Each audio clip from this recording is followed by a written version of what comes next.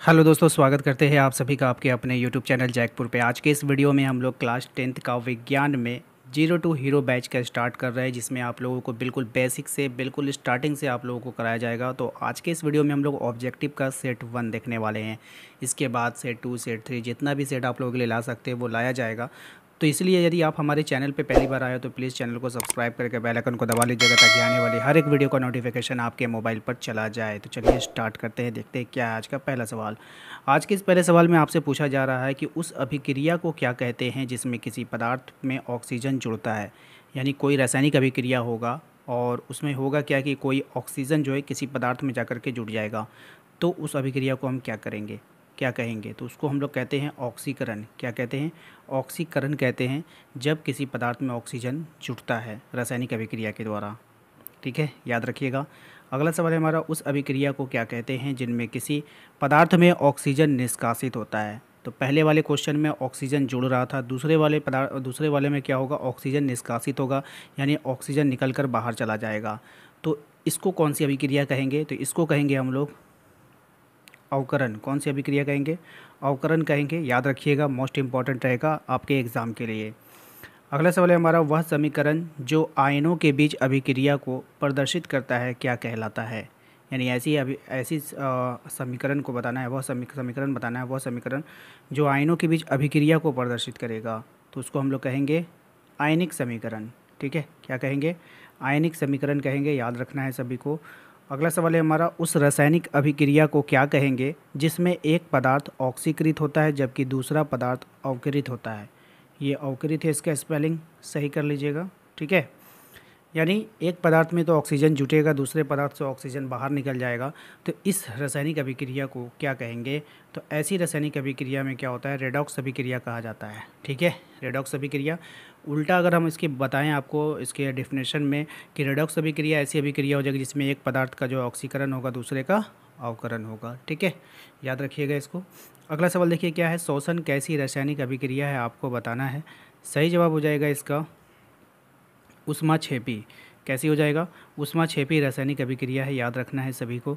अगला सवाल है हमारा, जब हमारे शरीर में भोजन पचता है तो कौन सी रासायनिक अभिक्रिया होती है? जब हमारे शरीर में भोजन का पाचन होता है तो कौन सी रासायनिक अभिक्रिया होती है? सही जवाब हो जाएगा, वियोजन अभिक्रिया। अभी आप लोग कहोगे कहोगे कि, सर ऑप्शन दे करके आप नहीं बता रहे डायरेक्ट आंसर दे रहे हैं।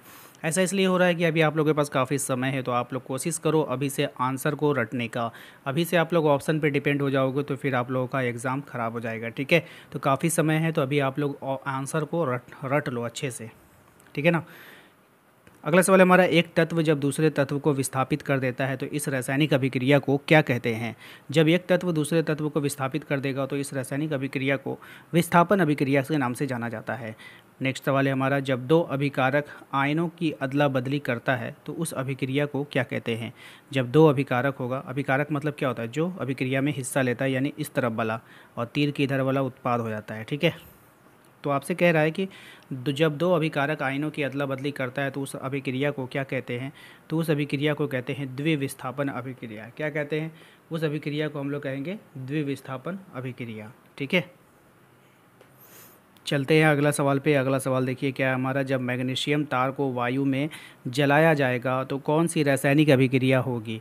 यानी मैग्नीशियम के तार को जब जलाया जाएगा तो कौन सी रासायनिक अभिक्रिया देखने को मिलेगा? आपको बताना है। सही जवाब हो जाएगा, संयोजन अभिक्रिया देखने को मिलेगा। ठीक है? नेक्स्ट देखिए, क्या है? जब भोजन उपस्थित कार्बोहाइड्रेट टूटता है, भोजन में उपस्थित कार्बोहाइड्रेट टूटता है तो कौन, हमें क्या प्राप्त होता है? ठीक है? तो जो हमें प्राप्त होगा वो होगा ग्लूकोज। क्या प्राप्त होगा? ग्लूकोज प्राप्त होगा। याद रखना है सभी को। इसका एक फार्मूला भी होता है C six H twelve O six इसको याद कर लीजिएगा, ये ग्लूकोज का फार्मूला है। कभी कभी आप लोगों को ये ग्लूकोज ना दे करके ये दे देगा, ठीक है? तो इसको आप लोग अच्छे से याद रख लेना।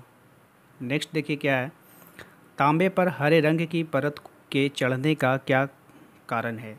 कारण बताना है आपको कि तांबे पर आपने देखा होगा, तांबे का कोई भी बर्तन होता है, उस पर हरा रंग का परत चढ़ जाता है। तो उसका क्या कारण है? उसका कारण है संचारण क्या कारण है उसका? संचारण उसका कारण है, ठीक है? अगर बात करेगा आपका लोहे का तो लोहे में संचारण कैसा होता है? भूरे रंग का चढ़ना। लोहे पे? लोहे पे क्या होता है? भूरे रंग का जब कोई परत चढ़ता है तो उसको हम लोग उसको संचारण बोलते हैं, जिसको हम लोग बोलते हैं जंग लगना, ठीक है? तो उसके अलावा होता है चांदी पर। ठीक है? तो चांदी पर कैसा संचारण होता है? तो चांदी पे काले रंग की परत का चढ़ना, चांदी पे काले रंग की जो परत चढ़ती है तो उसको भी हम लोग क्या बोलते हैं? संचारण बोलते हैं। याद रखिएगा, चांदी पे काले रंग की परत चढ़ेगी, ठीक है? संचारण का और कोई एग्जांपल अगर आपसे पूछेगा तो लोहे में जंग लगना आप डायरेक्ट बोल दीजिएगा। लोहे में जंग लगना, ठीक है? लोहे में जंग लगना, ये संचारण का उदाहरण है, ठीक है? याद रखिएगा इसको। किसी तत्व के नाम के संक्षिप्त रूप को क्या कहते हैं? यानी कोई भी तत्व है, उसका नाम है, उसका एक संक्षिप्त रूप होगा, उसको क्या कहेंगे? तो उसको हम लोग कहेंगे संकेत। जैसे हाइड्रोजन एक तत्व है तो हाइड्रोजन को हम लोग एच से डिनोट कर देते हैं। तो यही इसका क्या हो गया? संकेत हो गया। ठीक है?